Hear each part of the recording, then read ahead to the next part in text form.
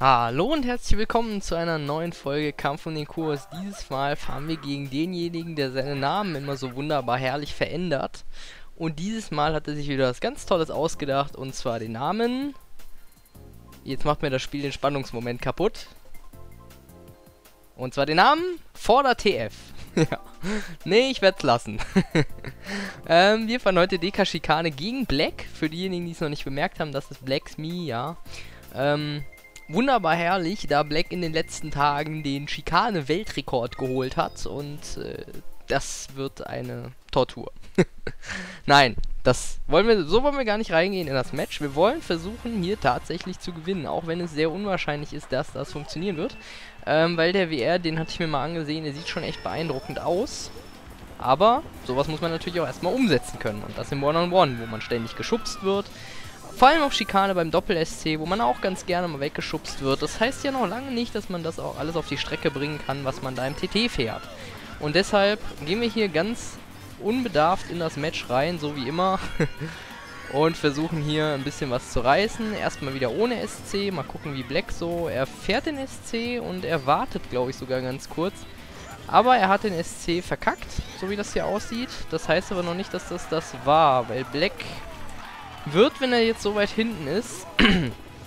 okay, er ist in eine Guy gefahren, das ist natürlich auch super. wird, wenn er so weit hinten ist, äh, seine Imba-Taktiken auspacken. Und seine Imba-Taktiken sind... Imba.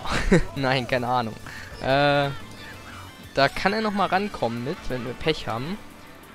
Deshalb müssen wir vielleicht in Runde 3 nochmal den Double Cut ziehen. Das wird dann... Ja, keine Ahnung. Black meinte, er wäre schlecht drauf momentan auf der Strecke. Äh, aber sowas glaube ich ihm nicht. Wenn er sowas sagt, dann will er mich damit nur verein... Äh, verein... Nein. In Sicherheit wiegen. Genau. Mir fallen äh, gerade keine Worte ein. Okay, nochmal gefailt. Sehr gut, sehr gut, weil jetzt können wir... Ja, jetzt brauchen wir eigentlich auch keinen Double Cut mehr ziehen. Oder?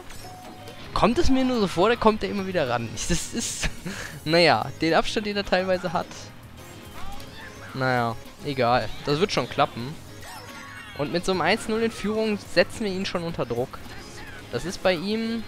Okay, wir haben bis jetzt sehr viele Matches gegen ihn gespielt und ich glaube, im ersten Match haben wir am häufigsten, also im ersten Rennen, haben wir am häufigsten gegen ihn gewonnen.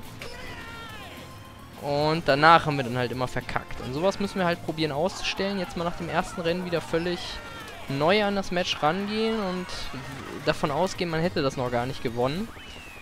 Und ja, manchmal fühle ich mich da einfach halt schon zu sicher, wenn mir das erste Rennen geschenkt wird, so wie jetzt. Und nein, ich fordere keinen TF. ich kann es gerne noch 30 Mal in diesem Part erwähnen.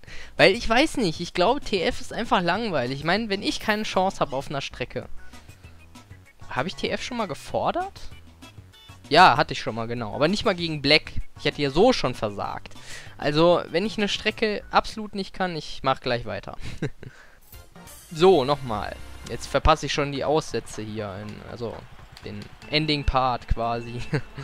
äh, ja, wenn ich auf einer Strecke null Chance habe, dann ist es, glaube ich, sowohl für mich als auch für euch Zuschauer relativ langweilig dazu zu sehen.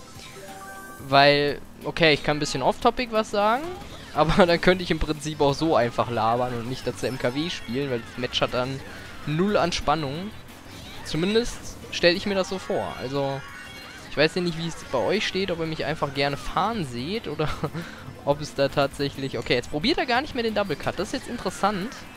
Das hätte ich nämlich jetzt gar nicht gedacht. Ich, also er hat zwar im Voraus schon angekündigt, okay, er wird nicht unbedingt versuchen, jetzt hier immer die übelsten Double Cuts zu ziehen. Aber er hat nie erwähnt, dass er gar keinen Double Cut ziehen will. Höh, wie ist er da jetzt vorbeigekommen? Das war ein wenig laggy. Leider. Ja, und jetzt hat er eben das geschafft, was bis jetzt noch kein anderer so wirklich mich unter Druck setzen konnte. Weil jetzt bin ich natürlich unter dem Druck des Double Cuts so ein bisschen. Den muss ich jetzt irgendwann mal ziehen. Aber das könnte man auch schaffen, da bin ich mir bin ich darüber überzeugt von. Da sind wir ganz gut angefahren, jetzt einfach mal hier rum, genau, wunderbar. Und jetzt hier hoch. Nein, schade, da hatte ich ein bisschen zu wenig Tempo drauf, schade drum. Aber naja, irgendwie, da war es schon wieder. Trinken. Ja, ich nehme das übrigens im, direkt im Anschluss zu Goldmine auf. Oder zumindest fast direkt im Anschluss. Hat der da gefailt? Weil ich bin doch nicht so weit weg gerade. Probieren wir jetzt einfach nochmal Double Cut zu ziehen. Mit ein bisschen Glück können wir ihn dann tatsächlich nochmal unter Druck setzen, was eigentlich gar nicht möglich scheint. Aber er ist gar nicht so weit vorne. Man sieht ihn ja da vorne noch, also... Vielleicht haben wir da noch sogar die Möglichkeit. Aber auch erst, wenn wir den überhaupt schaffen. Und das sieht gerade schon nicht danach aus. So, jetzt sieht es gar nicht schlecht aus. Jetzt hier nochmal rum, aber nee, das reicht nicht. Da müsste jetzt schon nochmal den Shy Guy reindonnern. Und das traue ich ihm in seiner One-on-One-Erfahrung eben nicht zu. Naja. Ist jetzt noch ein, ein, ein, ein, ein, ein, ein, ein, ein weiteres Rennen gewesen. ich kann nicht mehr reden, es tut mir leid, nein. Wie gesagt, direkt im Anschluss zur Goldmine. Ich habe jetzt noch einen Hustenbonbon gelutscht und dann geht es auch soweit. Ist okay. Zumindest vom Reden her geht es soweit. Das wollte ich damit ausdrücken. Vom Fahrerischen her ist das wieder eine ganz andere Sache. Da bin ich ein wenig mit mir unzufrieden, dass ich den SC nicht geschafft habe in der zweiten Runde, obwohl ich ihn meiner Meinung... Ja. Das war nicht schlecht von ihm, das war glaube ich aber unbeabsichtigt. mich da um Wheelie zu rammen. Ja, ich glaube, das war wirklich unbeabsichtigt. Ich bin mir nicht sicher. Aber er hat, wie es aussah, keinen Minito bekommen. Und jetzt landet er da nicht im Offroad. Schade. Es hätte ja klappen können. So, jetzt versucht er aber auch den Double Cut und da muss ich natürlich hinterherziehen. Wenn ich da nicht hinterherziehe, dann ist er ganz weg. Deshalb, äh, ja. Jetzt hat er aber wieder so ein bisschen Sicherheit gewonnen, leider. Und jetzt wird es ganz schwierig, hier nochmal ranzukommen. Oh, da hat er aber ein bisschen was verpatzt gerade. Also, obwohl er hier den WR hat, ist er nicht gerade der sicherste Fahrer. Das ist, kann man, kann man jetzt schon feststellen. Ich meine, ich bin jetzt auch nicht der beste Fahrer auf äh, Dika Schikane, aber ja, wenn ich das schon so denke, dann denken das die Pros auf der Strecke sowieso und von daher, ja. so, jetzt hier nochmal einen Stunt ziehen, war jetzt nicht ganz so optimal. Wir ziehen einfach nochmal SC. Und genau dann, wenn er nicht den Cut zieht und ich ihn ziehe, verkacke ich ihn. Das war unnötig. Das war richtig unnötig. Und jetzt hat er das Rennen auch schon gewonnen. Ja. das war jetzt so das erste Match, wo wirklich, wo sich wirklich zeigt, dass wenn man den Double Cut nicht kann, ja einfach keine Chance hat auf der Strecke. Zumindest wenn man jemanden vor sich hat, der den Double Cut kann. Aber irgendwie, es kommt mir echt so vor, jetzt leckt sogar noch ein bisschen, es kommt mir echt so vor, als wäre es nicht ganz so schlimm, wenn man den Double Cut mal runterfällt. Ich meine, der Abstand zu ihm, okay, der ist jetzt deutlich größer als im zweiten Rennen, aber der ist nicht ganz so groß, wie man sich von anderen Stre wie man es von anderen Strecken gewohnt ist, wenn man runterfällt. Also ein bisschen Weg kürzt man dann natürlich schon ab. So, hier ziehen wir einfach nochmal Double Cut. So müsste man es machen. Und so habe ich es halt nicht hinbekommen. Leider. Oder? Hat er da nochmal einen Shy Guy Dotzer bekommen? Er hat nochmal einen Shy Guy Dotzer bekommen, aber ich kann es leider nicht, nicht bestrafen. Schade drum. Wäre ich da doch ein bisschen schneller gefahren an den anderen Stellen. Hätte, er hat echt nicht mehr so viel gefehlt. Wenn er ein bisschen Pech gehabt hätte und nach dem Shy Guy Dotzen so ein bisschen komisch gelandet wäre, dann hätte er hier kein Land mehr gesehen, leider. Blöd. Und jetzt die Vorentscheidung im Non-Item-GP. 1 zu 3 oder 2 zu 2, das ist hier die Frage. Und ich hoffe, wir können sie positiv beantworten für uns. Jetzt hier am besten nicht wieder auf denselben Fehler reinfallen. ich glaube echt nicht, dass das beabsichtigt war im zweiten Rennen, aber das kann Black ja sicher nochmal in die Kommentare schreiben. Und das war jetzt super dämlich. Und warum ich da jetzt noch einen Außendrift bekommen habe, weiß ich nicht. So. Jetzt wird schon mal schwierig, hier wieder ranzukommen.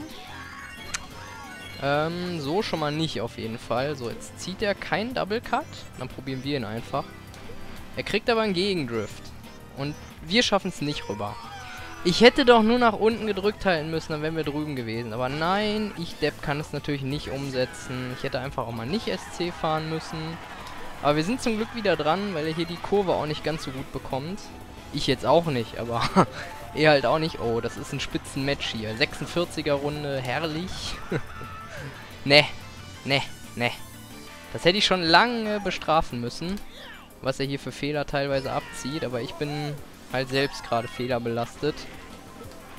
Mann, kann doch nicht wahr sein. So, jetzt aber vielleicht nochmal ein bisschen mit Skill. Jetzt probiert er auch den Double Cut. Ne, doch nicht. Hä? Was macht der da manchmal? Sieht sehr seltsam aus. So, der Double Cut hat uns wieder rangebracht. Und er fährt in den Guy. Da habe ich ausnahmsweise mal die letzte Kurve besser gezogen als mein Gegner. Was selten der Fall ist, zugegeben. Aber er ist wieder dran. und jetzt heißt es äh, Doppel-SC oder nicht. ich glaube, wir ziehen ihn. Weil Black hier nicht so viel Abstand hat. Und jetzt äh, fährt er auch ganz gut. So, unter dem Druck des Double Cuts muss der jetzt auch irgendwie funktionieren. Das ist schon mal extrem behindert angefahren. Und jetzt aber ziehen. Ja, passt. Wunderbar. Jetzt nur nicht von ihm wieder einholen lassen. So, letzte Kurve. Nicht ganz so gut rumgekommen, aber er auch nicht. Und das ist der Sieg. Boah. Puh, das war... also so schlecht bin ich den SC, glaube ich, noch nie angefahren. Aber obwohl man ihn so schlecht anfährt, ist er schneller als die normale Route. Zumindest meistens. Das hat man in der Runde davor auch gesehen, da war ich relativ schlecht, bin aber nochmal um die Sekunde, um die zwei Sekunden fast schon rangekommen an ihn. Und das hier jetzt war vielleicht ein Timesaver von 0,5 bis 1 Sekunde, würde ich mal behaupten. Im Vergleich zum Nicht-SC. Aber er hat natürlich noch was gut gemacht. Äh, Glück. also zumindest von dem, was Black sonst so abliefert, verglichen zu dem, was er jetzt hier so macht, das ist schon ein starker Unterschied. Ich hatte da mehr von ihm erwartet. Äh, und genau deswegen jetzt nochmal auf Spiegel, wo der SC, wo er den SC wahrscheinlich noch weniger kann, schätze ich jetzt einfach mal. Ne, das war nicht ganz so gut geworfen. Ich muss es probieren mit der Fake am Anfang, weil wenn er jetzt halt einen Red Shell hat, dann... Ne, er hat einen Green Shell, okay. Aber er hat noch ein zweites Item, so viel steht fest. Ja. Einfach mal probieren durchzufahren, wenn es nichts wird, dann haben wir Pech gehabt. Aber Schikane, wie gesagt, das ist nun mal eine Frontrun-Strecke größtenteils. Da kann man mit Frontrun sehr viel erreichen. Gerade weil der Gegner auch immer unter dem Stress steht, ja, wirft er jetzt was zurück oder nicht? Oder fährt er irgendwie gurkig? Das ist natürlich auch eine andere Möglichkeit. So, jetzt könnte man, nein, könnte man nicht. Ich wollte versuchen, ihn vielleicht zu snipen, aber er hatte da die Idee, mir einfach gleich das fortzusetzen, damit ich erst gar nicht in die Versuchung komme. So, jetzt hier lang. Passt soweit. Ja, aber mit Black hat man halt immer im Item-GP knappe Matches. Nee, wenn er jetzt ein Red Shell hat, eine Bombe, das war gut gelegt. Ich hätte natürlich irgendwie noch ausweichen können, aber das war mir jetzt so nicht bewusst, wie ich das hätte machen sollen. Ja, und wir müssen jetzt immer noch ein 2-2 erreichen. Das ist nicht ganz so einfach. Ja, Pilz. Das ist jetzt, naja. Der Shy Guy war unnötig. Aber jetzt kommt man sowieso eigentlich nur noch mit einem Blue Shell wieder ran. Oder wenn er halt dann die Fakebox reinfahren würde, aber das glaube ich jetzt einfach mal nicht. Ein Pilz. Ja. Na, das war jetzt, na, komisch. so, und jetzt erlebt die Premiere, wie Sozi den SC sein erstes Mal auf Spiegel probiert. es wird spannend. ja? Hey, das sieht gar nicht schlecht aus. Cool. also, naja gut, erstes Mal probieren ist vielleicht ein bisschen äh, fehl am Platze, der, die Aussage. Schade, wenn er da nochmal in Shy Guy reingefahren wäre. Das wäre es gewesen. aber leider nicht. Und jetzt müssen wir auf jeden Fall mal so langsam wieder ein Rennen gewinnen. So langsam wird es aber echt mal Zeit, dass uns jemand die Strecke abnimmt eigentlich. Weil auf Schikane, ich meine, mein, mein, meine Lines auf Schikane sind eigentlich voll für den Arsch. So viel kann man festhalten. Okay, da hat er nochmal, da hat er schon mal das richtige Item weggenommen. Ja, das war jetzt blöd von mir. Ja, und das war sehr gut von ihm gemacht. Da hatte ich keine Chance, da auszuweichen, weil ich da irgendwie natürlich hoch muss. Ansonsten habe ich einen Zeitnachteil. Oh, oh, oh. Aber drei rote sind gut. Drei rote sind sehr gut. Wenn die ankommen. Das ist halt auch immer ein großes... Oh, er fährt falsch rum. Ja, und jetzt kriegt er die roten noch ab. Und zwei Stück sogar. ja. Ich weiß nicht, was Black hier macht. Also, das war auch schon wieder eine sichere Führung für ihn. Und die so zu verspielen, das ist... Ja. Vielleicht hat er nach dem letzten Sieg über ihn, also unsererseits den letzten Sieg über ihn, ein wenig Respekt vor mir, Respekt vor mir bekommen, nicht Respekt. Und hat jetzt auch mal Schiss, wenn er gegen mich fährt. Das wäre ja cool. Auch wenn das meistens absolut unbegründet ist. Naja, kann man so machen. Muss man nicht. Ja. Was kann man noch erzählen? Ich bin... Ich merke es gerade selbst. Nein, der war sehr gut gelegt. Und jetzt kommt der. Oh Gott. Ja, jetzt legen wir hier noch einen hin. Aber er fällt runter. also, dieses Match ist echt äh, ein Showdown der Gurken. Das kann man echt nur so sagen. Unglaublich. Er fährt falsch rum, kriegt zwei Red Shells von mir ab. Ich fahre einfach dumm in die Fakebox, krieg einen Red Shell ab und im selben Moment fällt er noch runter. Also irgendwas ist da nicht richtig gelaufen. Und jetzt werde ich wahrscheinlich noch, so wie ich mich kenne, meine eigene Fakebox nachher reinfahren. Aber der Abstand sollte eigentlich reichen, wenn jetzt kein Blue Shell mehr kommt. Und selbst wenn der Blue Shell kommt, muss der schon an einer echt blöden Stelle kommen, damit er da noch aufholen kann. Oder halt den Double Cut ziehen, das ist halt die Alternative. So, da sind wir gut rumgekommen. Schöne Sache. So, was kann ich noch erzählen? Genau, da waren wir ja irgendwie... Ja, Halsschmerzen haben sich seit dem letzten Match, seitdem ich das LP habe, ein bisschen behoben. Und ja, ich kennt ihr das, wenn man gegen Erkältung was tut, zum Beispiel Orangensaft oder Multisaft trinken oder so, irgendwas mit Vitamin C zugemixt und sobald die Erkältung rum ist, findet man dieses Getränk extrem eklig oder Hustenbonbons. Ich kann Hustenbonbons außerhalb von Erkältung echt nicht abhaben. Und O-Saft und Multi eigentlich auch nicht. ist voll seltsam. Ja, und nächste Woche geht dann bei mir der Unibetrieb richtig los. Ich bin echt gespannt empfinde auch schon so ein bisschen was wie Vorfreude. Ähm, ich hoffe, das wird nicht äh, in den Boden getreten. Ich hoffe es wirklich nicht. Aber er macht das hier schon ganz... Ich versuche jetzt mal die Fakebox an derselben Stelle zu legen. Ja, es funktioniert. Wunderbar. Danke für den Tipp, Black. Ich werde es natürlich gerne umsetzen.